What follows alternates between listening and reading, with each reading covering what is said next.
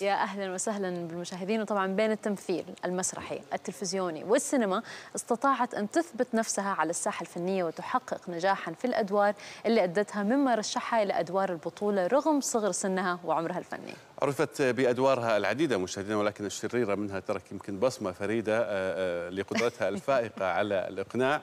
آه، رندا البحيري صباح الخير واهلا وسهلا الحمد لله على السلامة. صباح. الفل أهلاً وسهلاً عليكم. ميرسي وسهلا. على الكلام الحلو اللي انت لا. بالعكس. شكرا حبيبتي. يمكن هو في أدوار شريرة لكن انت يعني شكلك صراحة لذيذ وطيب صراحة ما أعرف إيش بيقولوا يعني. لا أنا عايزة أشكر من هنا أستاذ إبراهيم فخر مخرج المسلسل اللي أنا طلعت فيه شريرة علشان هو, هو هذا يعني ترك ترك بصمة. إحنا هنتكلم عن عن الأدوار رندا. ولكن آه، خلينا نسالك في البداية عن سبب تواجدك في دبي. أنا باجي كل شهرين ثلاثة أقعد شوية في دبي. آه، هي من البلاد اللي أنا بحب أنا. أنا مؤمنة إن كل البلاد العرب بلادي يعني. فأنا مش بحس إن أنا بس أنا أكني سافرت اسكندرية أكني سافرت أي حتة في بلدي يعني. فأنت تحب السفر يعني. يعني لو حبيت أسافر أنا مش من عشاق السفر. مش قادرة أقول لك آه يعني أنا مش من عشاق السفر أنا برضو بيتوتية وبحب اقعد في البيت. بس لما بسافر مش بيفرق معايا سافرت جوه البلد أو بره. ولو سافرت بره بيبقى 80% بلد عربي يعني أو أكتر من 80 100% بلد تمام. طيب لو نتكلم عن عن الأدوار آه، الآن رندا على أي أساس مثلا آه، عفوا يتم اخت- تختارين الدور؟ وليش آه، يعني تميزتي بالأدوار الشريرة من وجهة نظرك؟ يعني. هقول لك هو أنا مؤمنة إن كل واحد جواه الخير والشر جواه جواه كل حاجة والعكس بتاعها. صحيح. بس هو بينمي حاجة وبيكتم التانية ما بيطلعهاش. فأنا فضلت كاتمة التانية سنين عمري كله. فلما جالي دور شرير هو دي على فكرة حاجة نفسية بحتة يعني. هو التمثيل أصلا علاج للنفس. أوكي. فأنا شايفة إن إن أنا علشان ممكن أكون آه، عاملة control على النص الشرير اللي جوه أي بني آدم لأن جوانا الخير والشر. فلما طلع في في مسلسل طلعته فعلا.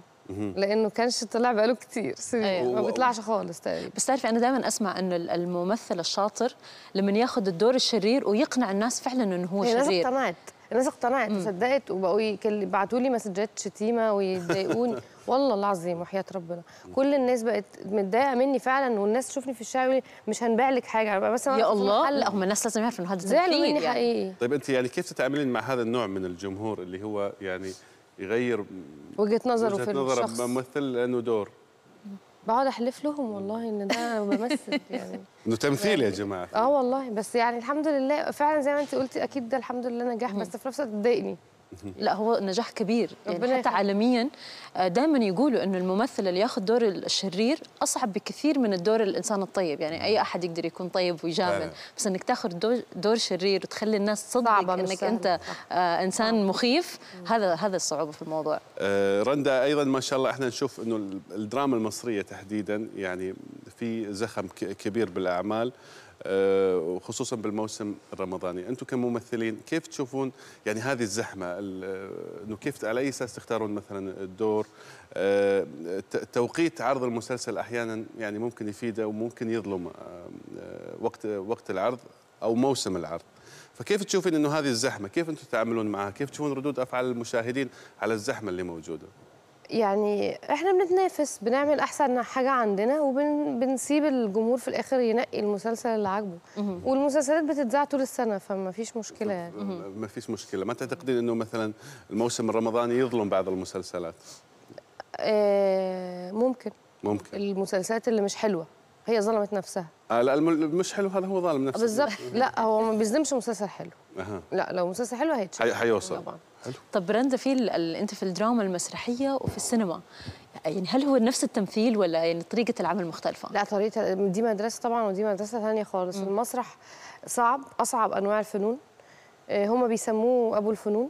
نعم. آه، وهو مش آه، اللي هياخد القرار ويعمل مسرحية لازم يكون فاهم آه، خطورة الموقف. لازم يكون فاهم إن هو هيقف قدام جماهير هياخد الرياكشن في نفس اللحظة آه، مش هينفع يعيد. آه، يعني فهو أصعب الفنون.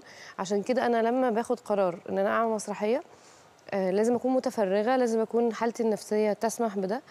آه لازم أكون ما عنديش آه حاجة تانية أعملها جنبه. والله أنا حاسة بتتكلم علينا إحنا كمان. ما إحنا نفس الشيء. إحنا مسرح كمان. لأنه إحنا أنت مسرح. يعني نفس نفس الفكرة ممكن. يعني. صحيح الهوا لا الهوا ده صعب جدا. إيه. ما إحنا عندنا حاجة اسمها الت- التلفزيون المسرح يجب السينما. إن السينما ممكن أروح في يوم تاني أصور الفيلم. آه، والسينما تجب مش عارفة إيه والبروفا يعني لا تجب التمثيل والهوا يجب كل شيء. آه. يعني إحنا دايما بنقول كده في الآخر الهوا. هطلع على الهوا للناس يجب كل الحاجات اللي فاتت يعني. آه. آه، رندا السينما ما شاء الله أنت متواجدة آه، سينمائيا ولكن لو نتكلم عن نظرتك الشخصية للسينما العربية بشكل عام كيف تنظرين لها؟ آه، مؤخرا كثير من الأفلام حصلت على جوائز بمهرجانات عالمية يعني نظرتك للسينما بشكل عام.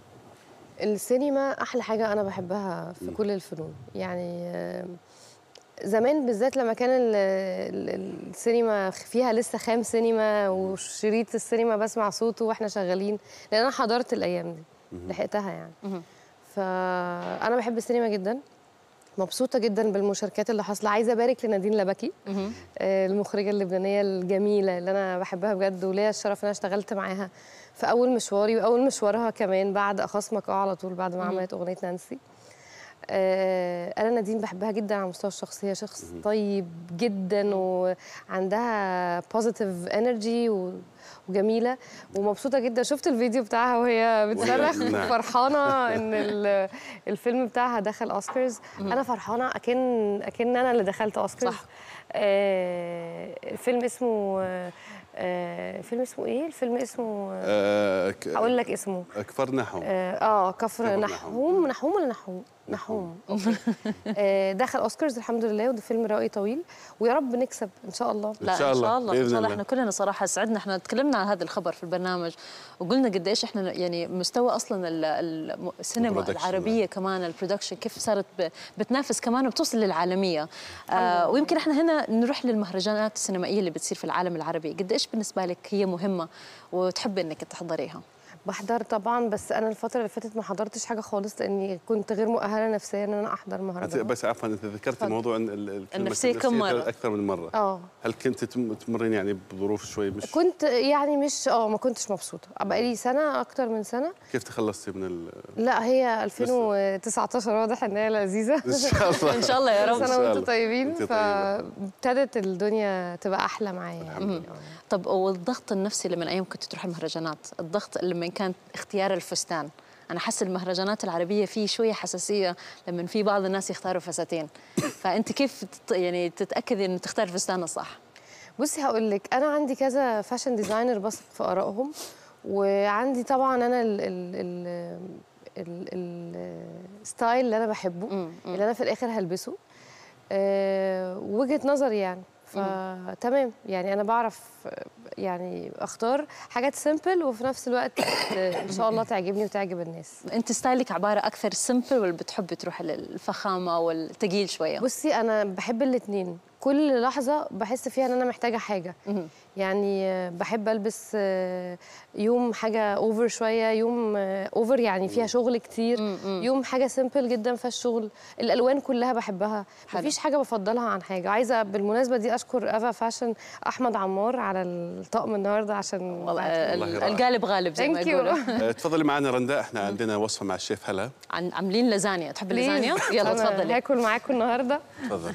اللازانيا اليوم نباتيه وعاملينها presentation كنا بنقول أنا والشيف إنه إحنا ال presentation اللي يكون طبق صغير أحسن من إنه هي صينية كبيرة صح. إيه. واليوم أنتم وردي بوردي؟ وزاد الوردي عنا أهلا. إيه نورتينا كويسة، اليوم شكرا أنا محتاجة بس تسلمي تفضلي. شكرا حبيبتي. العفو. طبعا نحن اليوم عملنا مثل ما قلتي سارة اللازانيا بس كمان نباتية بدون لحم. واستعملنا إيه فيها الأجبان والسبانخ والفطر كبديل عن اللحوم وهي كمان من الوصفات الإيطالية المعروفة. فحقكم تفضلوا أنا دائما بعمل زيادة حتى الضيف ياخذ حقه يعني. تسلمي الأيادي شيف. وشكرا؟ نادين على البوكيه اللي خلته للصحن اليوم. برزنتيشن مرة حلو رندا في إيه في أنت مسكمه شوي لا ده هي كويس قوي إن هي عملته من غير لحمة وكده لأن أنا فعلا يعني somehow vegetarian. ممتاز. إحنا مبسوطين إنك معنا أنا اليوم. كمان. نتمنى لك كل التوفيق. شكراً. ومشاهدينا إحنا نشوفكم أكيد بكرة. في أمان الله. شكرا آه، رندا.